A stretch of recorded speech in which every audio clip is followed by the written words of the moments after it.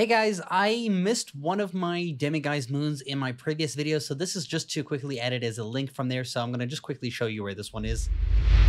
So this one is at the very lower end of the map here in a place called Cragcroftshire, and we're going to end up going to this Cragcroft, like a little village over here. So starting from this uh, Floo Flames, let me show you where the, the Demiguise moon is.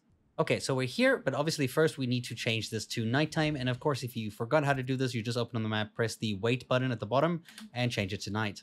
All right, so now that it's nighttime, we should have the floo flames right behind us in this little building, and we're essentially going to be going towards the giant big tree. So behind this house, so head in this direction, it's basically northwest. We're not going to access this first house. We're going to go straight past it and then straight to the tree.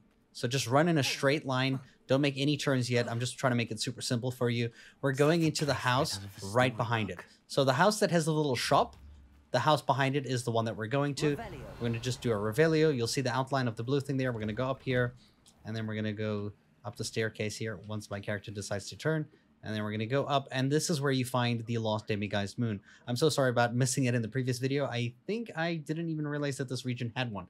So, yeah, there it is. I hope you guys enjoyed, and thank you so much for watching.